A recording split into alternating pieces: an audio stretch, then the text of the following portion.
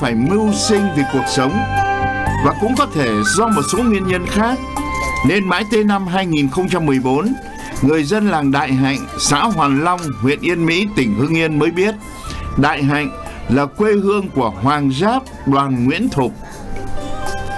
Điều đáng nói cụ Thục là bố đẻ của Hương Cống đoàn Nguyễn Tuấn và là bố vợ của đại thi hào Nguyễn Du, danh nhân văn hóa thế giới.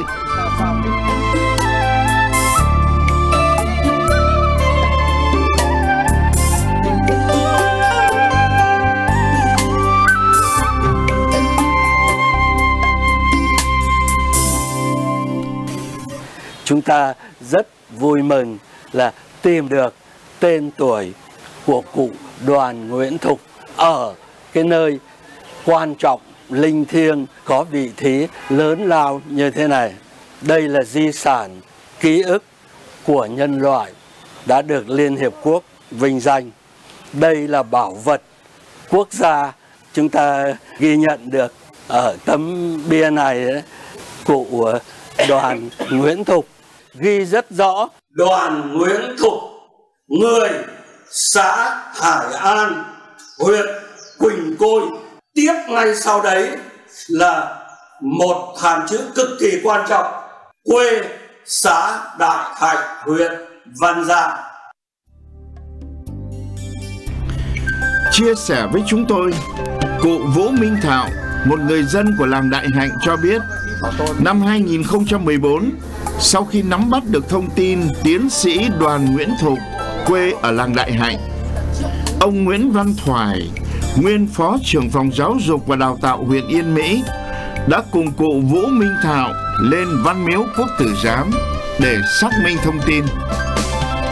Chỉ tiếc năm 2021, khi chúng tôi đến Đại Hạnh khởi quay những thước phim đầu tiên về làng Đại Hạnh, ông Thoại đã ra đi. Đó là ngày 8 tháng 6 năm 2018, tức ngày 25 tháng 4 năm Mậu Tuất. Mới đây nhất, ngày 21 tháng 4 năm 2024, tức ngày 11 tháng 3 năm Giáp Thìn, cụ Thạo cũng tạm biệt cõi trần về với tiên tổ.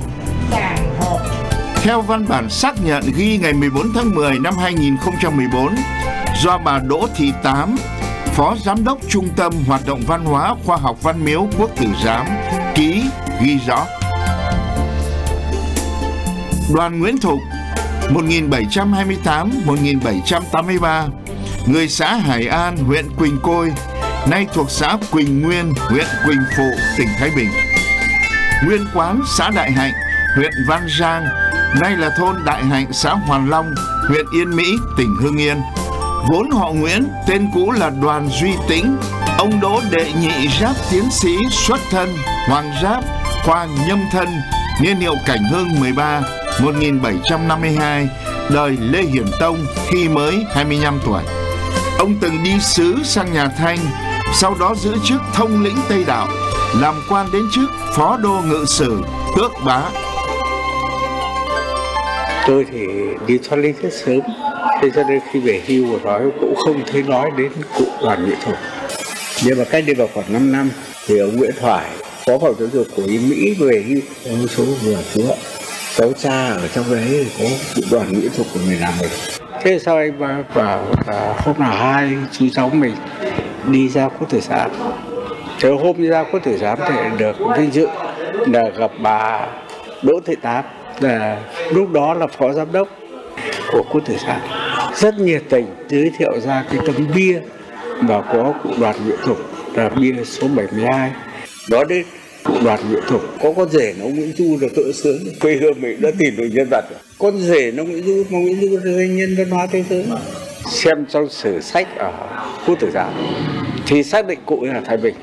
Hai chú cháu với sang Thái Bình. Ở đấy người ta đón tiếp rất nhiệt tình ngay từ những năm 14, 15, 16 ấy, khi mà anh em chúng tôi sang Thái Bình bà con trong họ đón tiếp rất là chu tất. Cơm nước có gì thậm chí là như vậy là gọi cả xung quanh đến là hôm nay là bà con bên quê nội cụ sang này thế rất là cứ như là kiểu là người nhà rồi. Tháng 3 năm 21 đoàn của các cụ à, cao niên rồi là chính quyền của thôn các đồng chí cũng đã sang.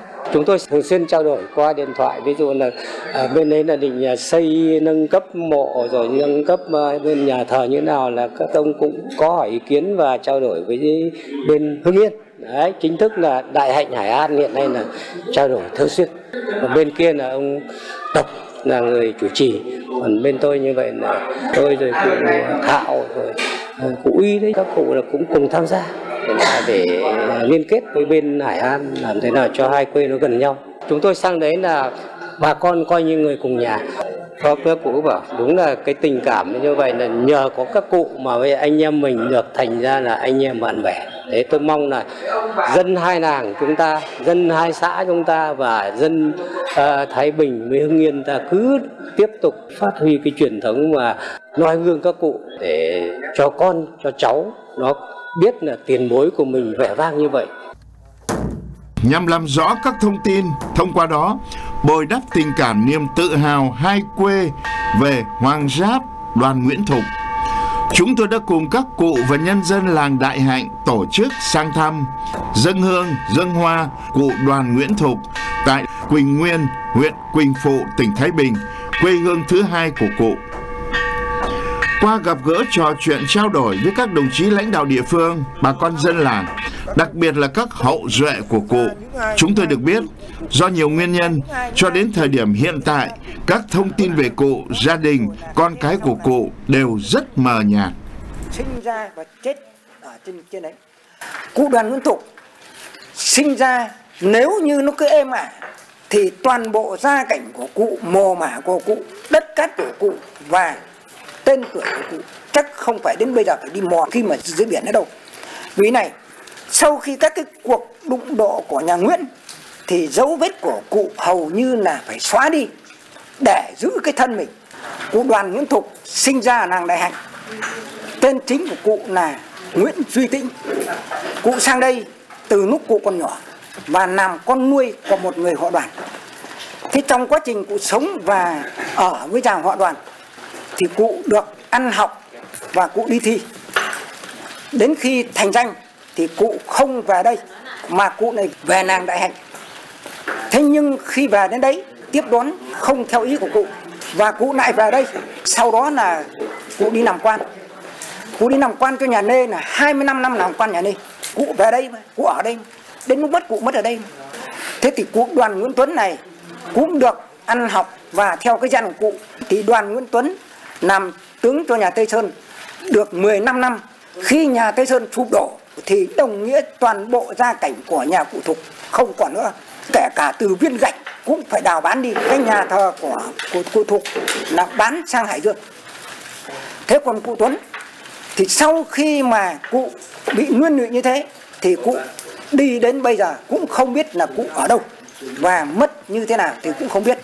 Cụ tuấn sinh ra đời thứ nhất là đợi cụ phó sách. Đến đời thứ hai là đợi cụ phó tá đến đời thứ ba là đẻ ra cụ sông, cụ bộc.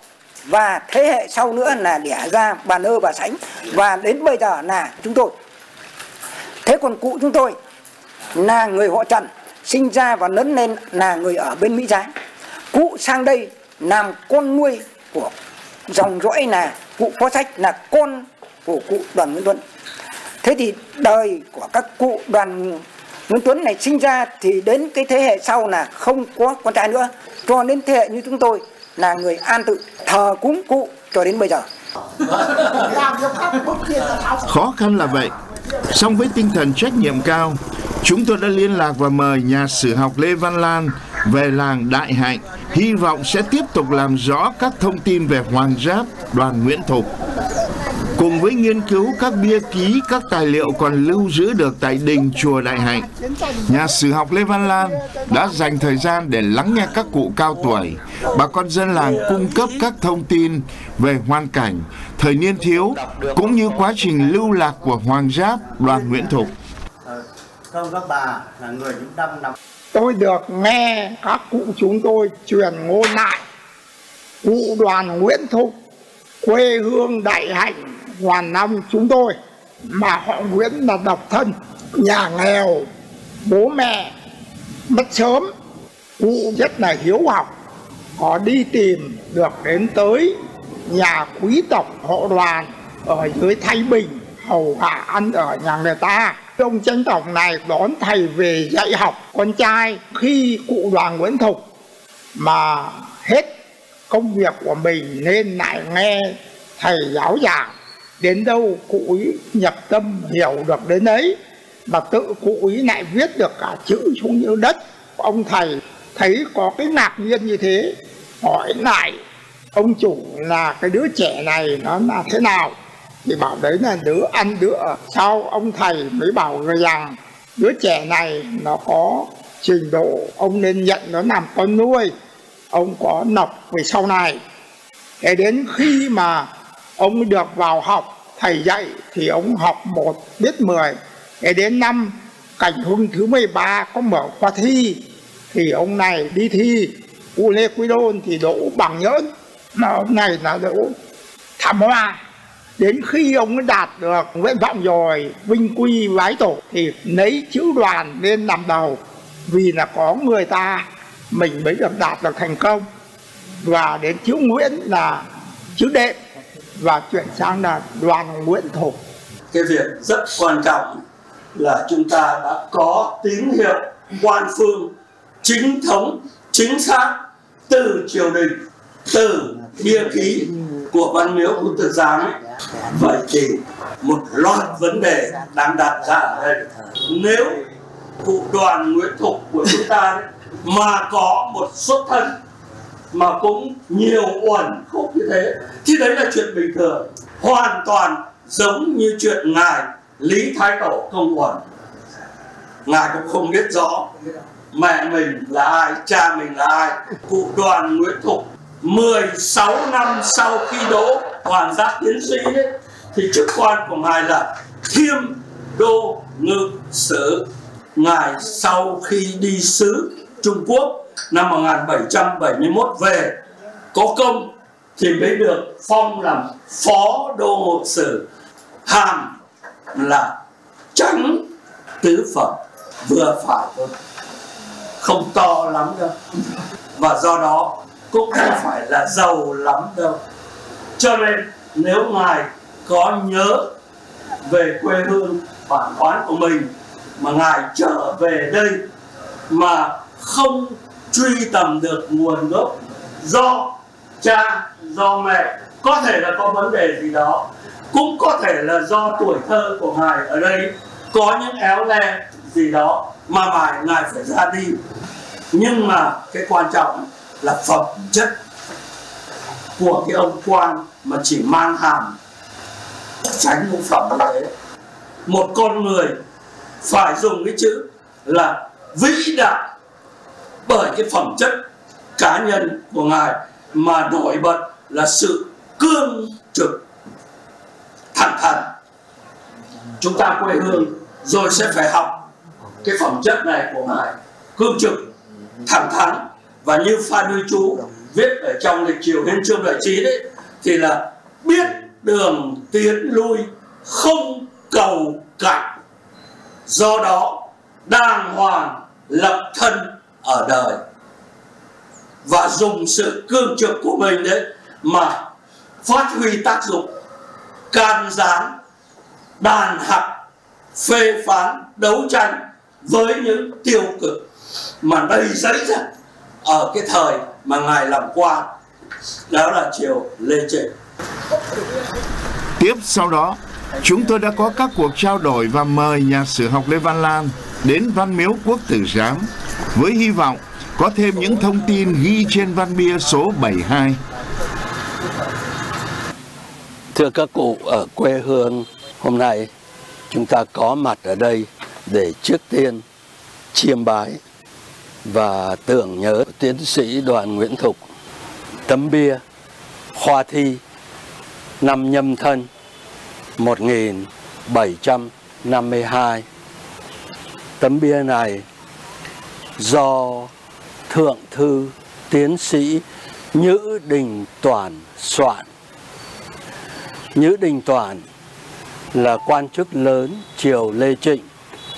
Khi được phân công viết bài văn bia này đấy, thì có một duyên lành ngay sau đấy đấy, là cụ trở thành thông gia với cụ đoàn Nguyễn Thục của chúng ta bố vợ của danh sĩ đoàn Nguyễn Tuấn là con trai của cụ đoàn Nguyễn Thục.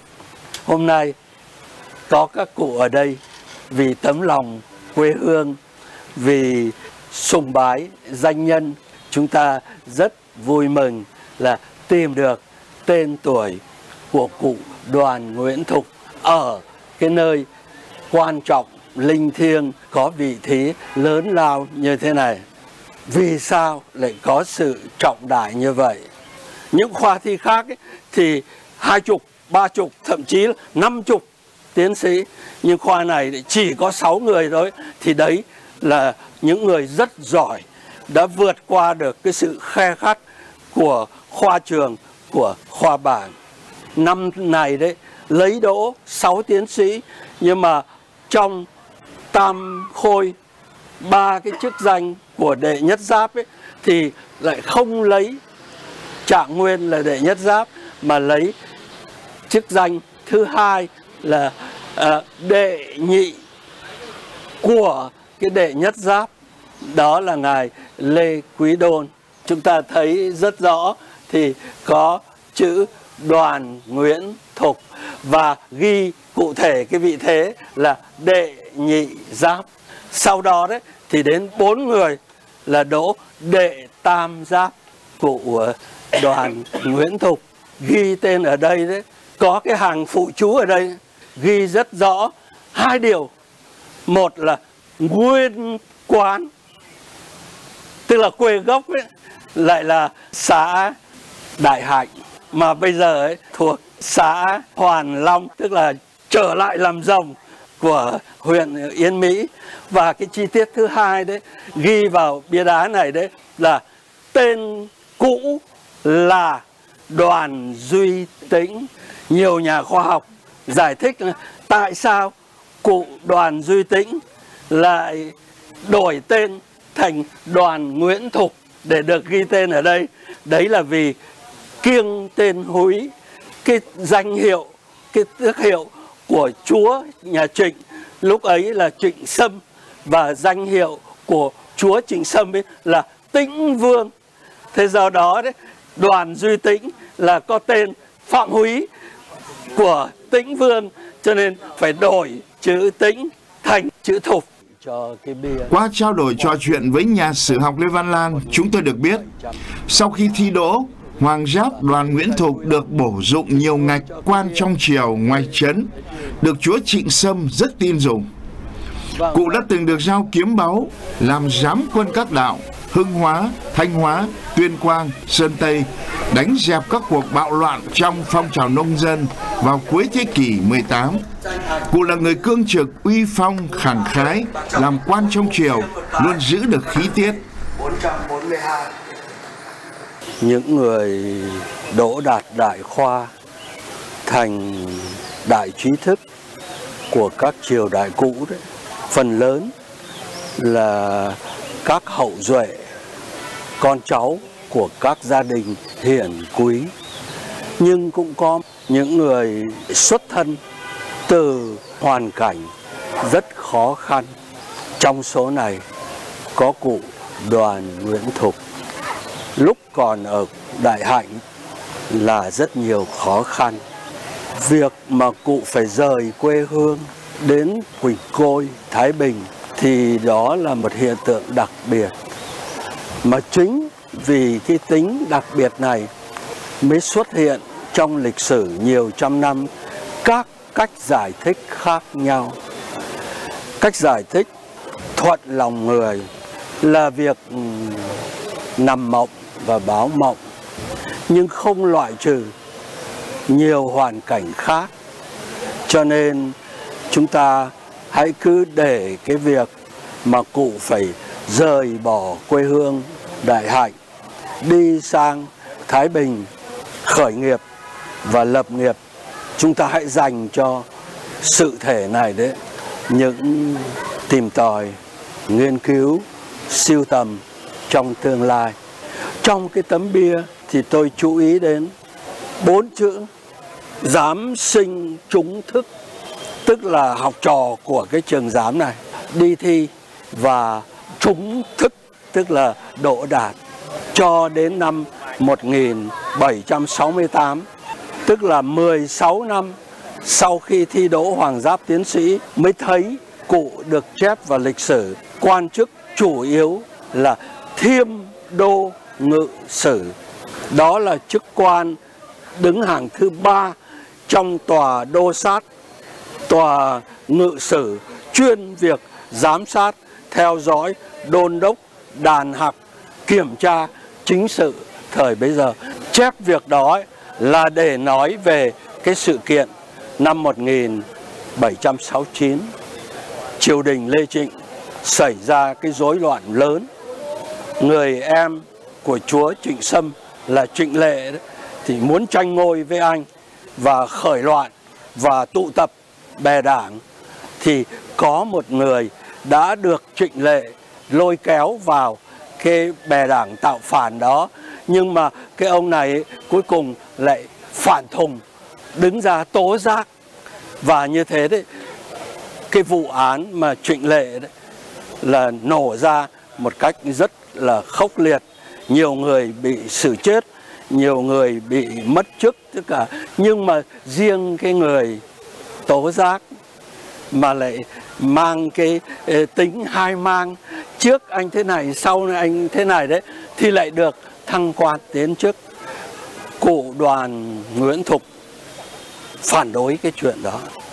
Và bây giờ sách lịch triều hiến trương loại trí còn chép được gần nguyên văn cái bản mà hạch tội đàn hạch, phản đối của cụ. Lời lẽ rất thẳng thắn mà rất uyên bác rất kỹ càng biện luận rất rõ là những cái kẻ như là đã tố giác như thế đấy thì có thể khen thưởng có thể cho mũ áo nhưng không được ban quan chức. Đấy là cái lập luận của cụ và cho thấy rõ cái tính cương trực cũng như là tính công bằng khách quan và sâu sắc của cụ ở cái buổi khởi đầu làm quan ngự sử của mình. Năm 1771, đoàn Nguyễn Thục được triều đình Lê Trịnh cử làm chánh sứ dẫn đầu đoàn sứ bộ sang triều cống nhà Thanh. Khi trở về cụ được phong làm phó đô ngự sử, tước Quỳnh Xuyên Bá. Theo nhà sử học Lê Văn Lan, thời trước Người được cử làm tránh phó sứ phải là người không chỉ có tài trí bang giao mà còn phải là người thông kim bác cổ và giàu sở trường sướng họa, ứng đáp văn chương. Việc đi sứ đối với đoàn Nguyễn Thục cũng như nhiều danh sĩ khác là dịp để thực thi hoài bão, lấy văn chương tăng thế nước và cụ đã toại nguyện hoài bão này. Những bài thơ sướng họa với quan lại nhà Thanh và sứ thần các nước ở Yên Kinh đã được chép lại thành tập mang tên Đoàn Hoàng Giáp Phụng Sứ Tập. Nhận xét về tập thơ này, nhà bác học Phan Huy Chú viết Lời thơ tao nhã, thanh tao, phóng khoáng, tả cảnh hồn nhiên, nhẹ nhõm và siêu thoát, đáng gọi là danh gia. Một sự trùng lập ngẫu nhiên của đoàn Nguyễn Thục, con trai là đoàn Nguyễn Tuấn và con rể là Nguyễn Du đều là sứ thần ở ba triều đại. Cả ba cha con đều là những danh gia đã đóng góp những áng văn chương truyền đời trong dòng thơ bang giao của nước nhà. Năm 1774, cụ được cử làm đốc thị Nghệ An, coi việc lương thưởng. Nhưng vì không đồng ý người phụ tá khi bàn việc công, cụ liền dâng sớ xin về làng. Sau đó cụ lại được hai lần triệu ra làm quan, nhưng đều từ chối. Năm 1775, đoàn Nguyễn Thục qua đời, thọ 58 tuổi. Triều đình truy tặng cụ chức đô ngự sử Thụy Cảnh Trực. Khi đã đỗ đến Hoàng Giáp, khi đã làm đến quan thiêm đô ngự sử, rồi thì được thăng tiến thành phó đô ngự sử, rồi thì được cầm đầu sứ bộ sang nhà Thanh để đấu tranh, để điều đình, làm ngoại giao đấy thì cụ đoàn Nguyễn Thục đã để lại một gia phong mà người kế tục cái truyền thống ấy chính là danh sĩ đoàn Nguyễn Tuấn, con trai của cụ. Và đoàn Nguyễn Tuấn gặp thời Tây Sơn thì đã sáng suốt, tỉnh táo, nhận việc ra làm quan với triều Tây Sơn và éo le làm sao một người rất thân thiết với đoàn Nguyễn Tuấn, chính lại là đại thi hào Nguyễn Du, vào lúc đang thập tải phong trần liêu đinh. Nhưng mà Nguyễn Du thì vẫn kiên định lập trường là trung thành với nhà Lê.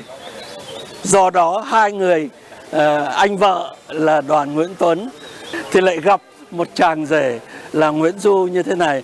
Nhưng mà rất may, họ vẫn ăn ở với nhau trong một gia đình mà có nền nếp, gia phong và như thế, đoàn Nguyễn Tuấn vẫn lập nên sự nghiệp ở triều Tây Sơn.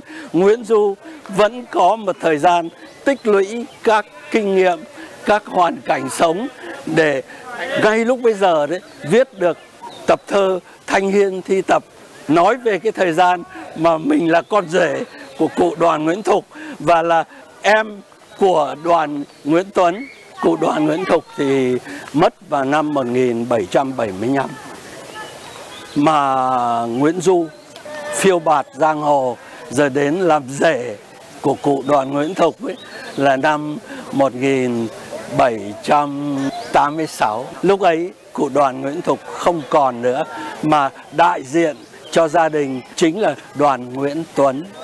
Cho nên, việc mà cụ đoàn Nguyễn Thục là cha vợ của đại thi hào Nguyễn Du đấy thì được nhìn nhận như là việc cụ đoàn Nguyễn Thục để lại một nề nếp, một gia phong mà những thành viên con cháu hậu duệ kế tục ấy buộc phải tuân theo cho dù những hoàn cảnh biến động éo le đến đâu.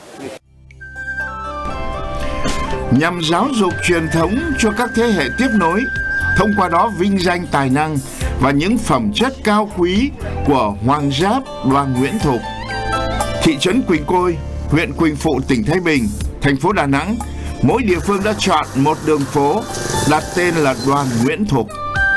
Ở Hưng Yên, ngành giáo dục và đào tạo huyện Yên Mỹ đã đưa thân thế sự nghiệp của đệ nhị giáp tiến sĩ đoàn Nguyễn Thục vào giảng dạy trong chương trình lịch sử địa phương.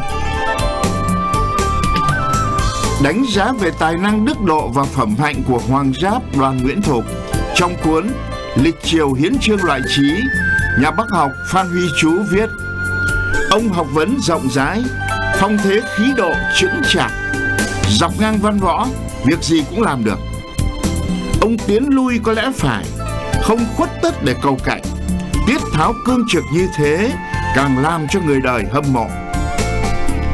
Điều đó cho thấy cụ không chỉ là một vị đại thần, một nhà khoa bảng nước tiếng văn võ song toàn, một nhà ngoại giao nổi tiếng thời nhà Lê, người con ưu tú của quê hương đại hạnh.